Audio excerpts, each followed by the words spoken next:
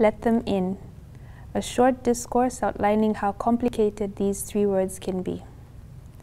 One warm, sunny, determination filled afternoon, I sat down to pen my thoughts and feelings on Europe's migrant crisis.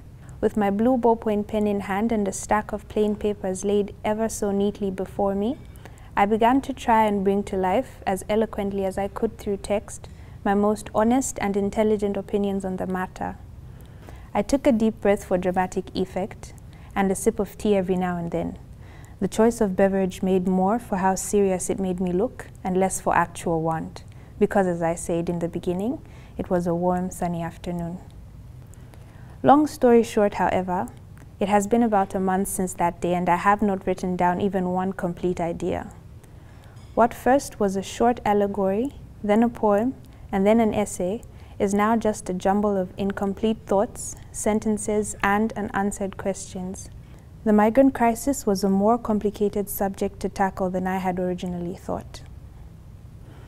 Yes, the plight of most of the migrants is a dire one, almost literally stuck between the devil and the deep blue sea, a trip across the Mediterranean in unsafe rubber dinghies and tiny fishing boats becomes the far better evil for many of these men and women despite the fact that once they cross these treacherous waters into foreign land, they become nameless and faceless numbers on a Europe's migrant crisis statistics sheet, these people leave all and sail on anyway.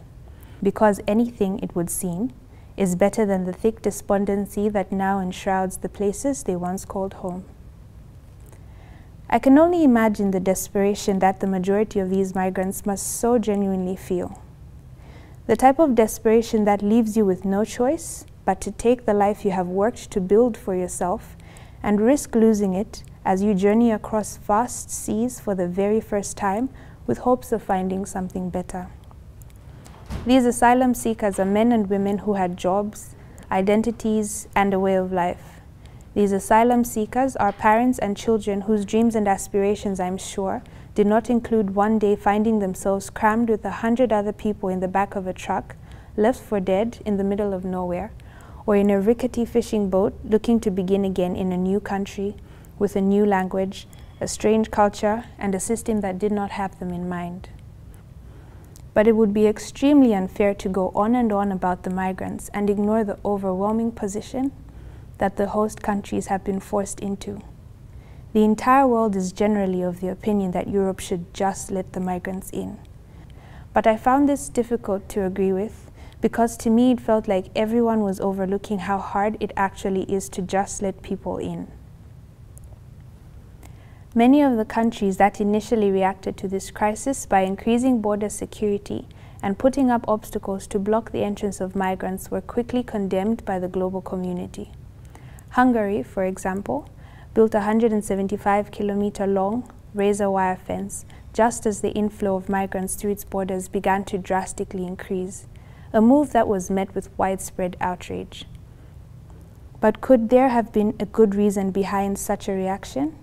I mean, you don't have to be a government official or work at the United Nations High Commission for Refugees to be able to appreciate the tremendous amount of pressure that such an influx of asylum seekers can put on a region let alone a single country.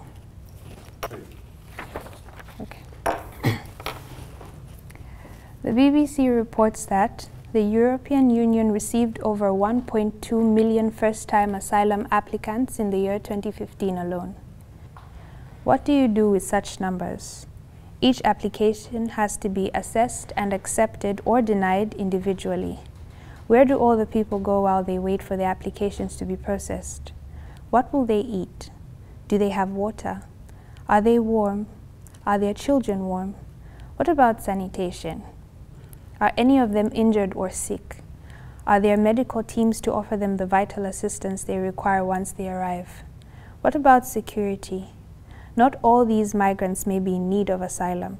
Some may be using the same migrant routes to go about their own sinister business. How do you screen all of them? And let's not pretend that everyone is even willing to lend a helping hand.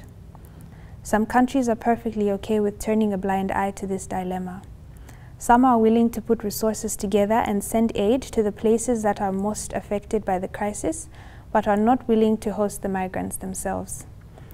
A large portion of the refugee problem is left for a small number of countries to deal with. Germany alone reportedly received more than 1.1 million asylum seekers last year.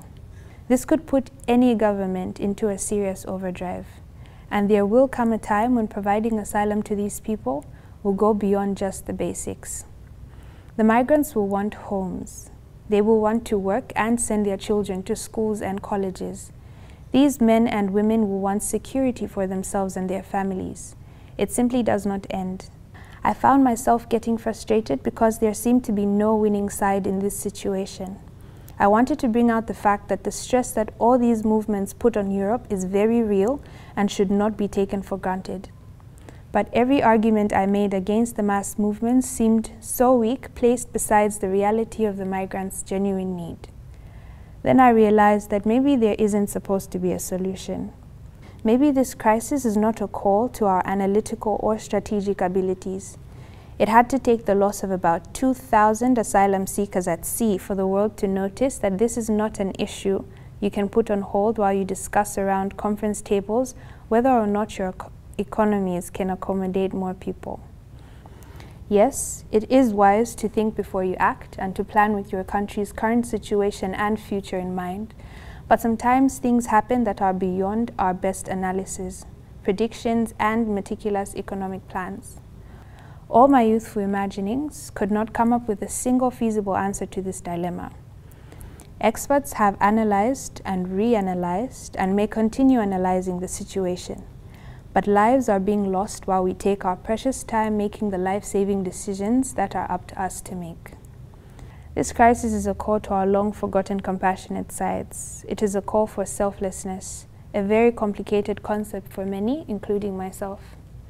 It is a call to put our selfishness aside and for once do something for others that does not seem to have anything in it for us. Not everyone is going to appreciate the great effort that goes into stretching out a helping hand in this crisis. Some may even take advantage of this opportunity and hurt the very ones that are trying to help but still there is a great number that desperately need asylum. How can we turn those away?